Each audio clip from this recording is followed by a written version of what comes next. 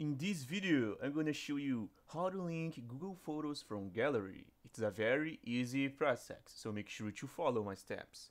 First of all, you need to locate the Google Photos app on your mobile and click to open there.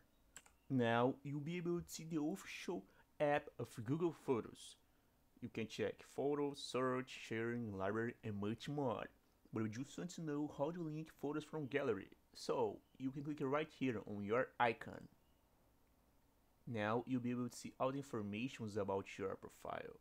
So you can check free up space, your data in Google Photos, and much more. So if you want to link Google Photos from gallery, you can click right here in Photo Settings. Now you'll be able to see the settings menu. You can check notifications, memories, location, and much more. So the next step is backup and sync.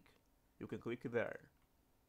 So if you just want to link your Google Photos from gallery, you can just mark this option off.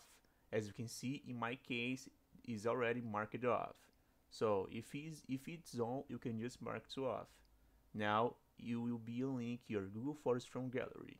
So that's the only way to do that.